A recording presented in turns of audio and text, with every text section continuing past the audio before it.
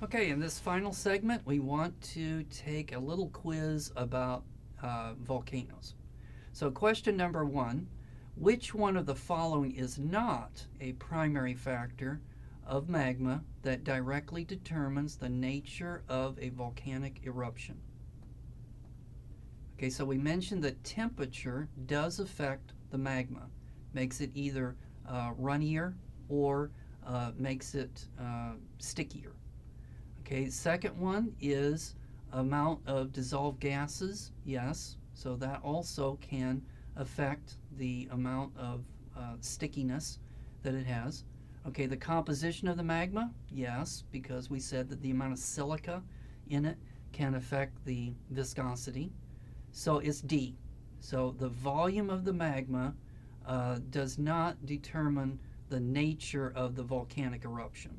Now, it is going to determine the length of the volcanic eruption. So, how long is it going to, to last? Mafic lava tends to be what? Tends to be runny. Volcanic ash is composed of what? Okay, be careful. So don't think about wood ash. So wood ash would be carbon, but volcanic ash is composed of silica. Number four, a volcano that takes the shape of a broad domed structure is what kind of volcano? And that would be the shield volcano. It's shaped like a shield. And then what type of volcano produces the most uh, violent eruptions?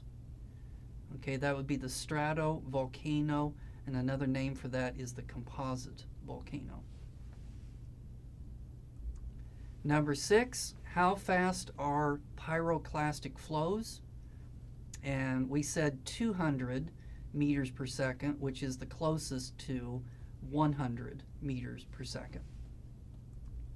Number seven, uh, volcanoes uh, tend to make the climate what? Warmer? Yeah. Cooler? Yeah.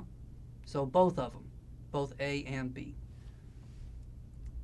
Number eight, what is the most volcanic object in the solar system? That would be Io, the moon of Jupiter. All right, so that uh, finishes this up. So in our next lesson, we're going to learn about weathering, and then we will, after that, we'll talk about how the products of that weathering make sedimentary rocks. So I'll see you then.